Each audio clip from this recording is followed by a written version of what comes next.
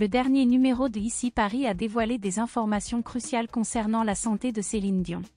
Une biographe, Laurence Catino-Crost, auteur de Dis-moi Céline, publié aux éditions City, a sollicité l'avis du neurologue Julien Cavanagh, un spécialiste des maladies auto-immunes basé à Boston, afin d'obtenir des éclaircissements sur l'état de santé actuel de la célèbre chanteuse. Le docteur Kavanagh a expliqué que cette maladie auto-immune provoque une réponse agressive du système immunitaire dirigé contre le système nerveux central, qui est chargé de réguler la relaxation musculaire. Pour soulager ces symptômes, le docteur Gilles, un autre spécialiste, aurait recommandé une intervention médicale. Même si cette intervention pourrait apporter un soulagement à la chanteuse, il semble qu'elle ne soit pas en mesure d'arrêter la progression dégénérative du syndrome.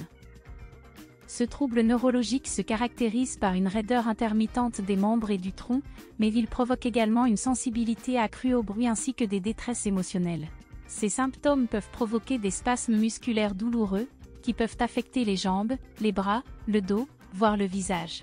Malgré cette immersion dans un cercle de douleur, Céline Dion a choisi de maintenir le silence, évitant ainsi toute déclaration publique.